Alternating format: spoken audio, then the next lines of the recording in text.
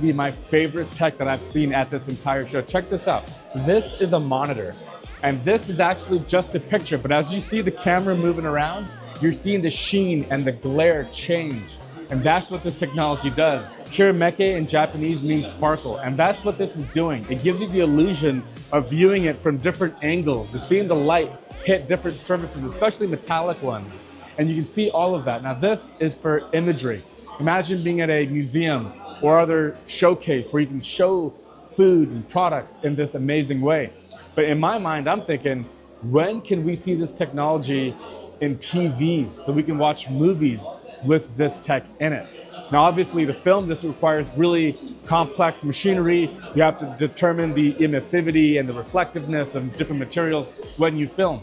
But what if cameras of tomorrow have that built in and our movies on our TVs at home look like that?